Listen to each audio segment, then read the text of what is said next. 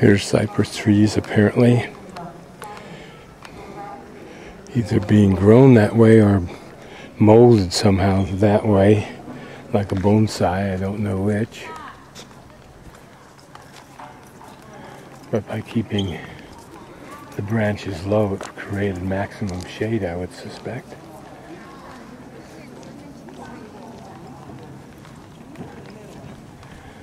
I would think that an emperor, depending upon how he lived or was forced to live, might find it very, very comforting to abdicate and thus retire so that he could then do with his life as he wished. Because I suspect that no matter how powerful he was, a great deal of his life may have been spent in uh, rigmarole.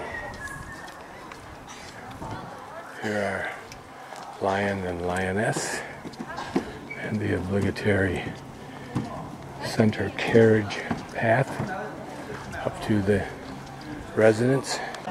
So how much fun could it be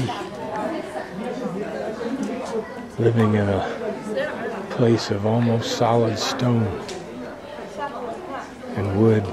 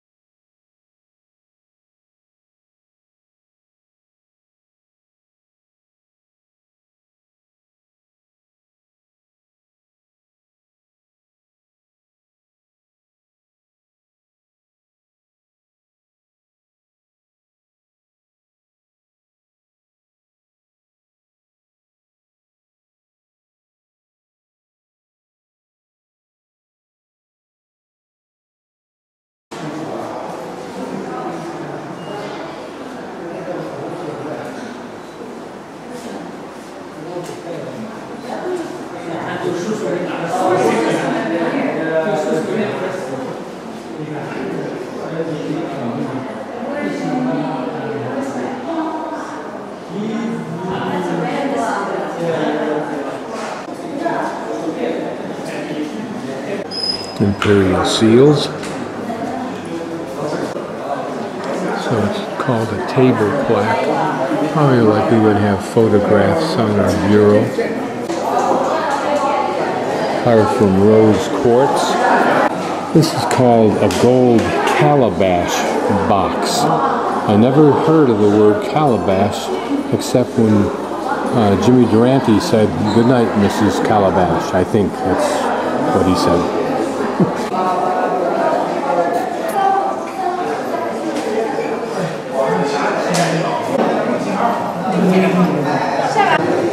is yellow jade. I didn't know jade came in a yellow color. Exquisite and intricately carved. Gold. Open floral work. And I don't know what the jewels are. Some kinds of gems. Interesting that it's in a heart shape. Was it intention to be romantic like in the Western cultures? If that's the natural color of jade, it's interesting how the artist, at least if he intentioned it, to use that brown color for the horns. We're used to seeing jade in the polished stone of the Navajo, not in what look like elegant, flowing, carved flower designs. This is crystal, so I assume it's blown of glass. These are snuff bottles. I don't know whether we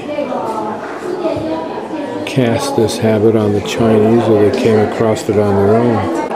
I wonder if this is a way we can say we glorify vice. I do wonder how they would hollow out these little vessels. So this is a creamy gray jade um, encrusted with inlaid gems.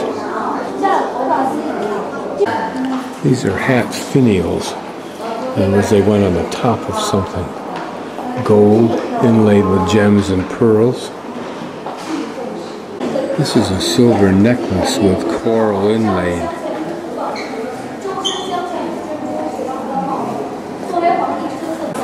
Decorative little neck pendants. Jade. These are gold hair pieces. I don't know whether they're wrapped or whether you have gold hair crosspiece, whatever that is. They look solid, and they are, and flat. And these are jade. Hmm. This is tourmaline decorated with squirrel and grape, although I don't see the squirrel unless there's a little animals around the side or squirrels. These are recognized as gold and jade hairpins with um, gems embedded in them. All to decorate the emperor's concubines, and yet they become evidence of the stature and quality and creativity of the Chinese at various eras in their history. So even my cynicism is dampened somewhat by the ultimate benefit of evidence for the Chinese and the world. Beautiful work. One can imagine how excited she would be if she received these from the prince or from the emperor himself and then took to wearing it so he would know she prized it. This is a phoenix crown. Can't be worn it'd be too incredibly heavy, I would think. Nope. One of the emperor, Wanli's empress. And that dates from 1573.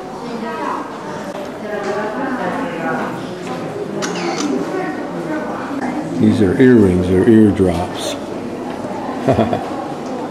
Look at the intricacy of this one, a little bug or insect of some sort.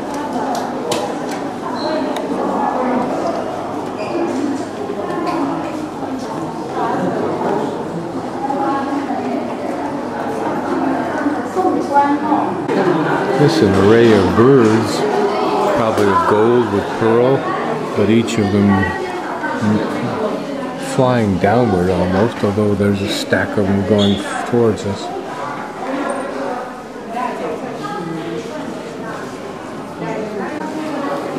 There's another beautiful hat. Yeah. Of jade, I think, maybe now. Gold. that dates from 1644 to 1911. Hmm, that's an interesting time span.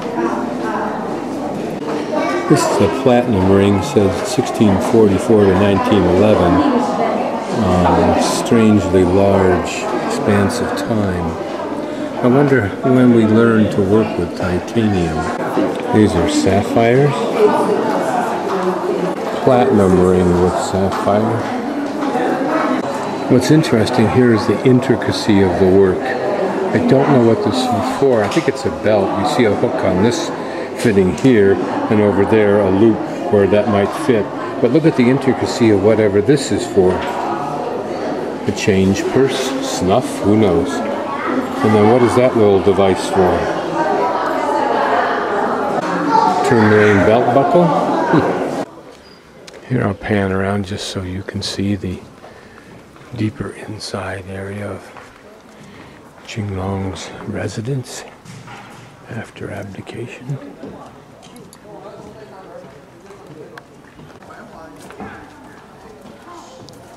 From my vantage point, one would think, were I emperor, I would envy the poets who lived in the mountains